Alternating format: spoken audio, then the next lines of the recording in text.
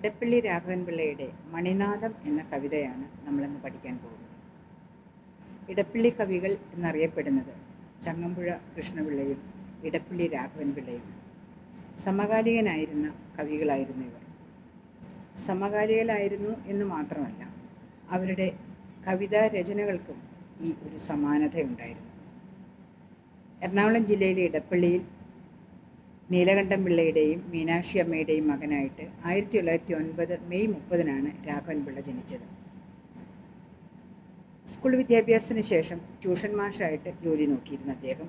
പിന്നീട് ഭാഷാവർദ്ധിനി കേരള കേസരി എന്നീ പത്രങ്ങളിലും പ്രവർത്തിച്ചു. ജീവിതം വളരെ ക്ലേശഭരിതമായിരുന്നു. അമ്മ വളരെ ചെറുപ്പത്തിലേ മരിച്ചു. രണ്ടാനമ്മയുടെ പീഡനങ്ങളും സാമ്പത്തികമായ ബുദ്ധിമുട്ടുകളും ഈ കവിയെ വല്ലാതെ ബാധിച്ചിരുന്നു. ഈ ലോകം തനിക്ക് ജീവിക്കാൻ പറ്റിയതല്ല എന്നാണ് ഇടപ്പള്ളി ചിന്തിച്ചു പോകുന്നത് ഈ ലോകത്ത് തന്നെ മനസ്സിലാക്കാൻ കഴിയുന്ന ആരും തന്നെയില്ല. ഈ ലോകത്ത് ജീവിക്കുന്നതിനേക്കാൾ സുഖം തനിക്ക് മരണമാണ്. മരണത്തെ ഉപാസിച്ച ഒരു കവിയാണ് ഇടപ്പള്ളി എന്ന് വേണമെങ്കിൽ പറയാം. ജീവിതം അത്ര ദുഃഖഭരിതമായതുകൊണ്ടാണ് മരണത്തെ ഞാൻ ഇത്രമാത്രം സ്നേഹിക്കുന്നത് എന്നാണ് കവി പറയുന്നത്.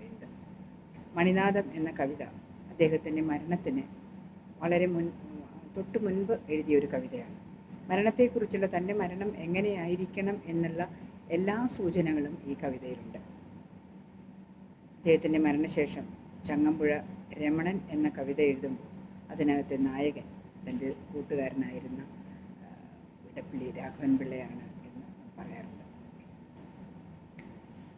ഇടപ്പള്ളിയുടെ ഏറ്റവും പ്രശസ്തമായ ഭാവകാവ്യം മണിയനാഥമാണ്. ആയിരത്തി തൊള്ളായിരത്തി മുപ്പത്തി ആറ് ജൂലൈ മാസത്തിലെ ജൂലൈ ആറാം തീയതിയിലെ മാതൃഭൂമി ആഴ്ചപ്പതിപ്പിലാണ് ഈ കവിത പ്രസിദ്ധീകരിച്ചു വന്നത്. കവിയുടെ ജീവത്യാഗത്തിന്റെ വ്യക്തമായ സൂചനകൾ ഇതിലുണ്ട്. സ്വയം ഹത്യയിലൂടെ തന്റെ ജീവിതത്തെ സ്വാർത്ഥകമാക്കുന്ന ഒരു കാമുകനെയാണ് കവിത അവതരിപ്പിക്കുന്നത്. യഥാർത്ഥ ലോകം അസ്വാതന്ത്ര്യത്തിന്റെ വിഷബീജങ്ങളാൽ മലീമസമായിരിക്കുന്നു. നിലവിലുള്ള സാമൂഹിക വ്യവസ്ഥിതിയോട് അത് പ്രകടിപ്പിക്കാനുള്ള ശേഷിയില്ലാതെ പിരിയുകയാണിതാ ഞാനൊരു അധകൃതൻ കരയുവാനായി പിറന്നൊരു കാമുകൻ. ഒരു കാമുകനായി ജീവിക്കുകയും പ്രണയത്തിനു വേണ്ടി മരിക്കുകയും പ്രണയത്തിനു വേണ്ടി ഉയർക്കുകയും ചെയ്ത ഒരു കവിയാണ് ഇടപ്പള്ളി ഇത്രമേൽ ക്രൂരമായ ഒരു മരണ ജീവിതത്തിന് തന്നെ വിട്ടുകൊടുക്കാതെ ഏറ്റവും അടുത്ത നിമിഷം തന്നെ സ്വയം മരണത്തെ മധുരമായി ഏറ്റുവാങ്ങുകയാണ് നല്ലതെന്ന് കവി തീരുമാനിക്കുന്നു. തന്റെ പ്രണയത്തെ സാക്ഷിയാക്കി അവൾക്ക് മംഗളം നേർന്നുകൊണ്ടാണ് കവി ഈ ഭൂമിയിൽ നിന്ന് വിടവാങ്ങുന്നത്. പ്രണയത്തിന് വേണ്ടി ജീവിക്കുക മരിക്കുക ഉയർത്തെഴുന്നേൽക്കുക. അങ്ങനെയുള്ളൊരു കാമുകനിലൂടെ കാൽപ്പനികതയുടെ എല്ലാ ഭാവങ്ങളും ഈ കവിത അനുഭവവേദ്യമാക്കി തരുന്നു. അതാകട്ടെ മലയാള കവിതയ്ക്ക് തികച്ചും നൂതനമായ ഒരു ആത്മ അനുഭവത്തിന്റെ തലം കൂടി തുറന്നിടുന്നു. കെ. പി. അപ്പൻ മരണത്തിന്റെ സൗന്ദര്യം എന്ന ലേഖനത്തിൽ പറയുന്നത് മരണത്തെ ഉപാസിച്ച കവിയാണ് ഇടപ്പിള്ളി എന്നാണ്. പലതരത്തിൽ ഒരാൾ ആത്മഹത്യ ചെയ്യാം. ജീവിതം അയാൾക്ക് ദുരിതമായി തീരുമ്പോഴാണ് ആത്മഹത്യയെക്കുറിച്ച് ഏതൊരാളും ചിന്തിക്കുക. ഇടപ്പള്ളിയിൽ അത് ഒരു വിഷാദ രോഗം തന്നെയായിരുന്നു.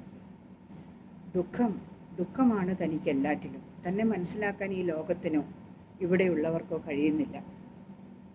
തന്റെ പ്ര പ്രണയിനിക്ക് കഴിയുന്നില്ല. തന്റെ കൂട്ടുകാർക്ക് കഴിയുന്നില്ല. ലോകത്തിനെ സാധ്യമല്ല.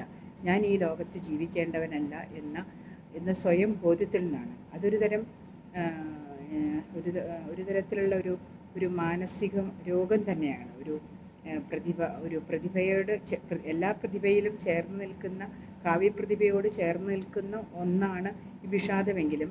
ഈ വിഷാദം അതിശക്തമായ ഒരു രോഗമായിട്ട് കവിയിൽ മാറിയിരിക്കുന്നു. അതുകൊണ്ടാണ് ഈ കവിത നമ്മൾക്ക് ഏറ്റവും പ്രിയപ്പെട്ടതാകുന്നതും അതുപോലെ തന്നെ മരണത്തെക്കുറിച്ച് എഴുതപ്പെട്ടതിലെ ഏറ്റവും സുന്ദരമായ ഒരു കവിതയാണ് എന്ന് നമുക്ക് പറയാൻ കഴിയുന്നതും. തൊണ്ണൂറ്റിയാറ് കവിതകളും രണ്ട് ചെറുകഥകളും കുറച്ച് ഉപന്യാസങ്ങളുമാണ് ഇടപ്പള്ളിയുടേതായിട്ട് നമുക്കുള്ളത്. തുഷാരഹാരം ഹൃദയസ്മിതം നവസൗരഭം എന്നിവ കവിയുടെ ജീവിതകാലത്ത് തന്നെ പ്രസിദ്ധീകരിക്കപ്പെട്ട കാവ്യസമാഹാരങ്ങളാണ് അദ്ദേഹത്തിന്റെ മരണശേഷമാണ് ആയിരത്തി തൊള്ളായിരത്തി നാൽപ്പത്തിനാലിൽ കേസരി ബാലകൃഷ്ണപിള്ള അദ്ദേഹത്തിന്റെ അവതാരികയോടെ മണിനാഥം പുറത്തിറക്കുന്നത്. നാൽപ്പത്തിയാറിൽ ഇടപ്പള്ളി രാഘവൻപിള്ളയുടെ കൃതികൾ എന്ന പേരിൽ രാഘവൻപിള്ളയുടെ സമ്പൂർണ കൃതികൾ ചങ്ങമ്പുഴ പ്രസിദ്ധീകരിച്ചു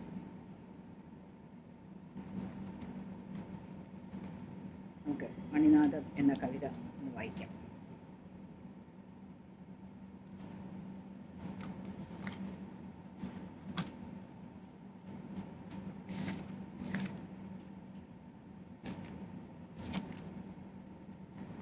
മണിനാഥം ഇടപ്പള്ളി.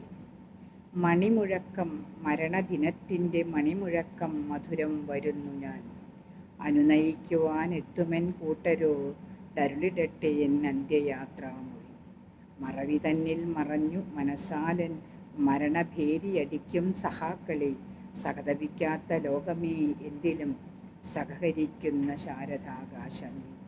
കവനലീലയിൽ നിന്നുറ്റ തോഴരാം കനകതൂലികെ കാനന പ്രാന്തമേ മധുരമല്ലാത്തൊരൻ മൗനഗാനത്തിൻ മതതരളമാം മാമരക്കൂട്ടമേ. പിരികയാണിതാ ഞാനൊരധകൃതൻ കരയുവാനായി പിറന്നൊരു കാമുകൻ. മണലടിഞ്ഞു മയങ്ങി കിടക്കട്ടെ. പ്രണയമറ്റതാമീ മൺപ്രദീപകം. അഴകൊഴുന്ന ജീവിത പൂക്കളം വഴിയരികിലെ വിശ്രമത്താവളം. കഴുകനീജടം കാത്തു സൂക്ഷിക്കുന്ന കഴുമരം. ഹാ ഭ്രമിച്ചു ഞാൻ തെല്ലിട. അടലിൽ ആനന്ദലേശമിട്ടെപ്പോഴും മെഴുകി മൂടി കലർത്തുമീ മേടയിൽ. കഴലൊരൽപ്പം ഉയർത്തിയൂനീടുകിൽ വഴുതി വീഴാതിരിക്കില്ലൊരിക്കലും. മലമുകളിൽ അഴിഞ്ഞഴിഞ്ഞേറിടും മഴമുകിലെന്ന പോലെ ഞാൻ ഇത്രനാൾ സുഖസുന്ദര സ്വപ്നശതങ്ങൾ തൻ സുലളിതാനന്ദ ഗഗന സുലളിതാനന്ദ ഗാന നിമഗ്നായി പ്രതിനിമിഷം നിറഞ്ഞു തുളുമ്പിടും പ്രണയമാധി ലഹരിയിൽ ലീനനായി. സ്വജനവേഷം ചമഞ്ഞവരേകിടും സുമനോഹര സുസ്മിതാകൃഷ്ടനായി. അടിയുറയ്ക്കാതെ മേൽപോട്ടുയർന്നുപോയി. അലകടലിന്റെ ആഴമളക്കുവാൻ. മിഴി തുറന്നൊന്നു നോക്കവേ കാരിരും വഴികൾ തട്ടിത്തഴമ്പിച്ചതാണു ഞാൻ. തടവഴ തടവഴ പ്രേമ ദാരിദ്ര്യബാധയാൽ തടവുകാരനായി തീർന്നവനാണു ഞാൻ.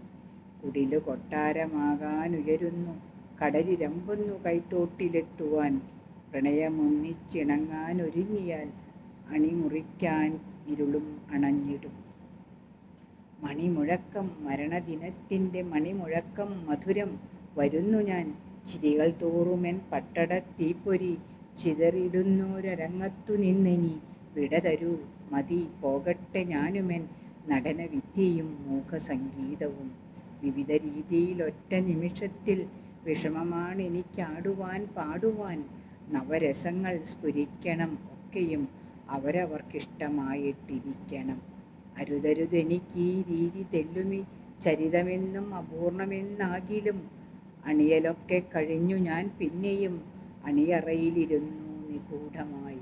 പല ദിനവും നവനവരീതികൾ പരിചയിച്ചു ഫലിച്ചൊരൽപ്പവും തവിടുപോലെ തകരുമൻ മാനസം അവിടെ എത്തി ചിരിച്ചു കുഴയണം. ചിരി ചൊരിയുവാൻ ചിരി ചൊരിയുവാൻ ആയിതൻ ദേശികൻ ശിരസി താടനം ഏറ്റി പലപ്പോഴും ചിരി ചൊരിയുവാനായി എൻ ദേശികൻ. ശിരസി താടനമേറ്റി പലപ്പോഴും ഹഹഹ വിസ്മയം വിസ്മയം ലോകമേ അതിവിചിത്രമീ നൃത്തശിക്ഷാക്രമം. കളരി മാറി ഞാൻ കച്ച കെട്ടാമിനി കളിയരങ്ങൊന്നു മാറി നോക്കാമിനി. പ്രണയനാടകം എന്നു ഇതുവിധം നിണമണിച്ചില നിണമണിച്ചിലെത്താതിരു പ്രണയനാടകം ഒന്നും ഇതുവിധം നിണമണിച്ചിലെത്താതിരുന്നിടാം. മണിമുഴക്കം മരണദിനത്തിന്റെ മണിമുഴക്കം മധുരം വരുന്നു ഞാൻ. ഉദയമുണ്ടിനി മേലിലതെങ്കിലെ ഉദകകൃത്യങ്ങൾ ചെയ്യുവാനെത്തിടും. സ്ഥിരതയില്ലാത്ത ലോകത്തിലെന്തിനായി ചില വിരഹി ഞാൻ മേലിലും കേഴണം?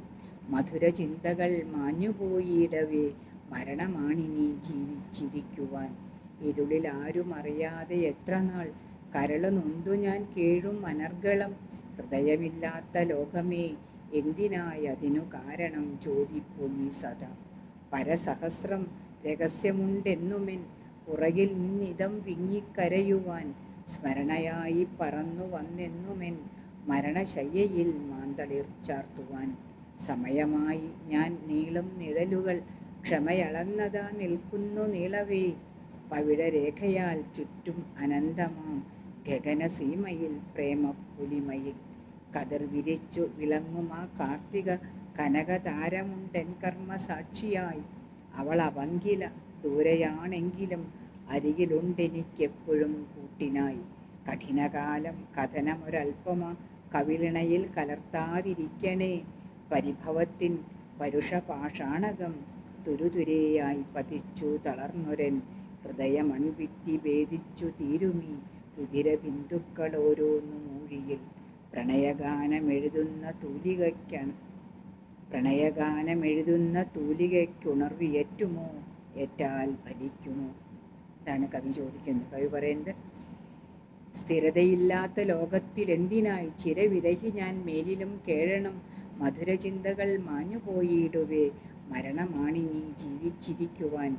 ഇരുളിൽ ആരും അറിയാതെ എത്ര നാൾ കരൾ നൊന്തു ഞാൻ കേഴും മനർഗളം. ഹൃദയമില്ലാത്ത ലോകമേ എന്തിനായി അതിനു കാരണം ചോദിപ്പു നീ സദാ. തനിക്ക് ജീവിച്ചിരിക്കാൻ ഈ ലോകം ഒട്ടും യോഗ്യമല്ല. അതുകൊണ്ട് ഞാൻ മരിച്ചു പോകുന്നു എന്ന് മരണത്തെ ഉപാസിക്കുന്ന ഒരു കവി. എല്ലാ കവികളെ സംബന്ധിച്ചും പ്രണയവും മരണവും ഒരുപോലെ ശക്തമാണ്. നമ്മൾ പറയാറുണ്ട് മരണം പ്രണയത്തെ പോലെ ശക്തം. പ്രണയം മരണത്തെ പോലെ ശക്തമെന്ന്. അത് പ്രണ മരണത്തെ തന്നെ പ്രണയമായി തന്റെ പ്രണയിനിയായി വരിച്ചുകൊണ്ടാണ് കവി മരണത്തെ സ്വീകരിക്കുന്നത്. തന്റെ പ്രണയിനിയോട് തന്റെ കവിതയോട് പ്രണ ഒരേ സമയം കവിത തന്നെയാണ് തന്റെ കാമുകിയായി കവി കാണുന്നത്. കവിതയോട് കവിതയോട് മംഗളം പാടിക്കോ കവിതയ്ക്ക് നന്മ നേർന്നുകൊണ്ടാണ് ഒരിക്കലും അവളുടെ മുഖം വാടരുത് എന്ന് പറഞ്ഞുകൊണ്ടാണ്. അവൾ അവങ്കില ദൂരെയാണെങ്കിലും അരിയിലുണ്ട് എനിക്ക് എപ്പോഴും കൂട്ടിനായി. കാരണം തന്റെ കാമുകിയായിട്ടുള്ള കവിത യാതൊരു കാരണവശാലും തന്നെ വേദനിപ്പിച്ചവളല്ല. അവൾ അവങ്കിലയാണ് എന്ന് പറയാണ്. ദൂരെയാണെങ്കിലും അരികിലുണ്ട് എനിക്ക് എപ്പോഴും കൂട്ടിനായി കവിയുടെ മരണം വരെ കവിത കവിയെ പിന്തുടരുന്നുണ്ട്. കവിതയെ ഉപേക്ഷിക്കുന്നതിൽ കവിക്ക് വിഷമമുണ്ട്. പക്ഷേ ജീവിതം അത്രമാത്രം ദുരിതമായതുകൊണ്ട് ഞാനത് ഉപേക്ഷിക്കുന്നു എന്ന് പറയാണ്. എന്തിനാണ് അത് ഉപേക്ഷിക്കുന്നത്? ഇവിടെ നിന്ന് പോയി കഴിഞ്ഞാൽ കിട്ടാവുന്നത് സന്തോഷത്തിന്റെ ലോകമാണ്. ഈ ലോകമാണ് ദുരിതം.